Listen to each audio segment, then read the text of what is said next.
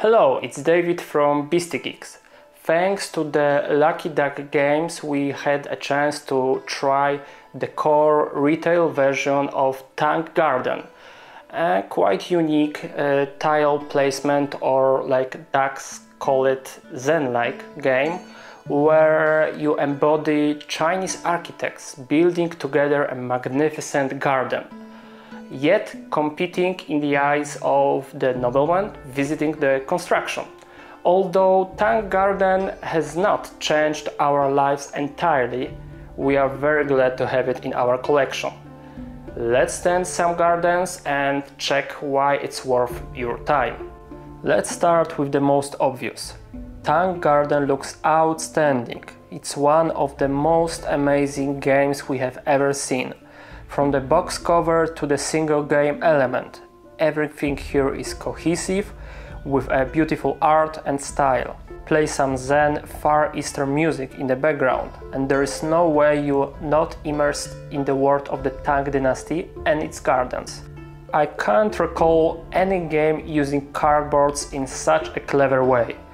We have tiles representing the ground elements, we have decorations with 3D trees and awesome pavilions, and we have my favorite landscape tiles we can plug into a main board, giving extra popped out feeling and closing the garden in a beautiful frame. And placing all of those elements will affect your score within the game, so it's strongly connected to the gameplay. All components, together with insert and over 10 each of them unique miniatures are of great quality. Everything here gives a wow factor when you look at this.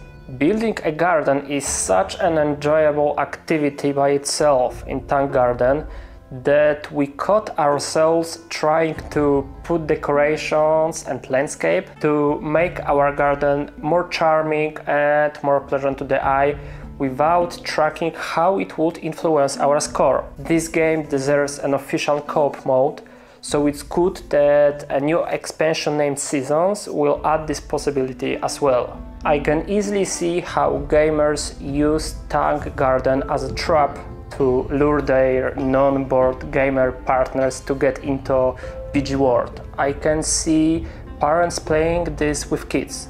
I can see game as a beautiful gift replacing Catan in the shopping cart. But Tang Garden is also a bit expensive for a gateway game.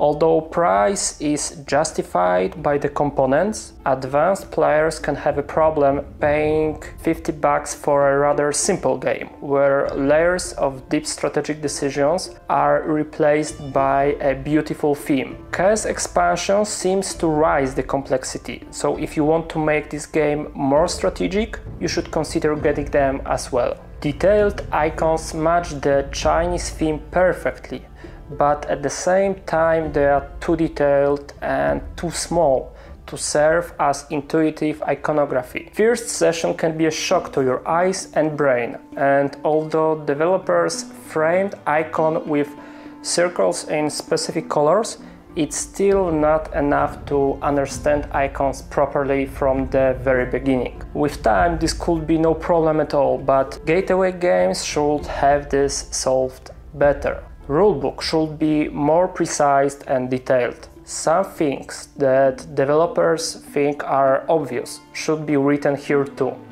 Two times we had to check our assumptions on Board Games Geek forum to be sure if we play game correctly. This becomes even more problematic because there are no player's aids in the core box. Every game, especially Gateway 1, needs such aids. Is Tang Garden unique? Yes. Is Tang Garden worth trying? Definitely yes. Is it worth having in the collection? It depends on your expectation, but remember, Tang Garden is solid, amazingly good looking game. It's all for today. See you at the next game.